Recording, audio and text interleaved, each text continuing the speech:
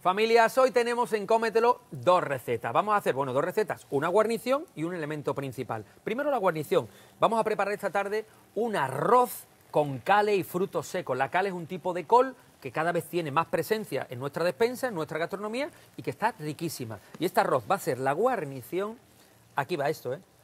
Pollo chacalaca, lo repito, pollo chacalaca, una receta de un pollo que hacen en África pero que lo vamos a hacer con ingredientes nuestros y que mirar qué cremosidad, qué delicia esta salsa con este arroz y ese pollo tierno, un lujo. A las 8 menos 10 en Canal Sur.